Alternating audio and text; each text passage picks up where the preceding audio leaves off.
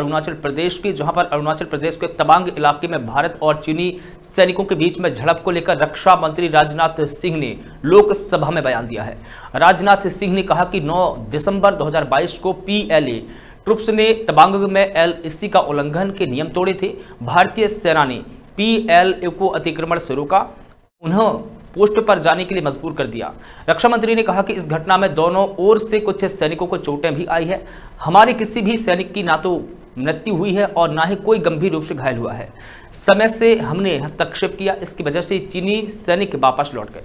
इसके बाद local commander ने 11 दिसंबर को इस पूरे मसले को लेकर बैठक की और चीन को ऐसे एक्शन के लिए मना किया है और शांति बनाए रखने को कहा है।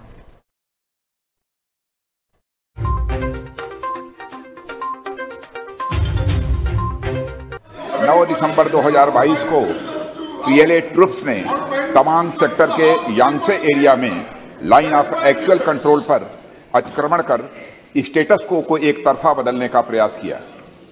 चाइना के इस प्रयास का हमारी सेना ने दृढ़ता के साथ सामना किया है, अध्यक्ष महोदय।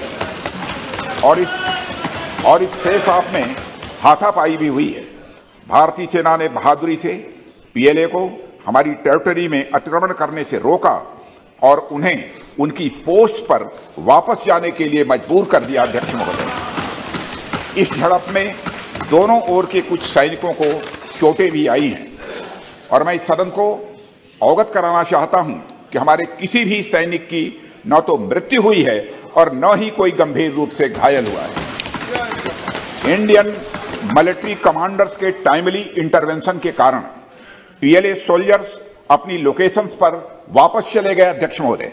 और इस घटना के पश्चात एरिया के लोकल कमांडर ने 11 11 दिसंबर 2022 को अपने चाइनीज़ काउंटर पार्ट के साथ स्थापित व्यवस्था के तहत स्थापित व्यवस्था के तहत एक फ्लैग मीटिंग की और इस घटना पर चर्चा की।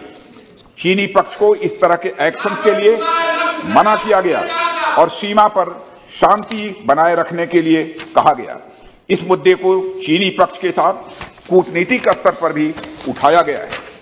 अध्यक्ष महोदय मैं इस सदन को आश्वस्त करना चाहता हूँ कि हमारी सेनाएँ हमारी भौमिक अखंडता को सुरक्षित करने के रखने के लिए पूरी तरह से प्रतिबद्ध हैं। और इसके खिलाफ और, और इसके खिलाफ किसी भी प्रयास को रोकने के लिए सदैव तत्पर है हमारी भारत की सेना।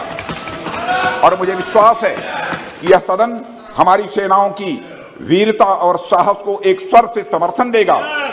और अध्यक्ष महोदय, मैं पूरी तरह से आश्वस्त हूँ कि यह संसद बिना किसी संशय के भारत की सेना की क्षमता, शौर्य, पराक्रम व प्रतिबद्धता का भी अभिनंदन करेगा।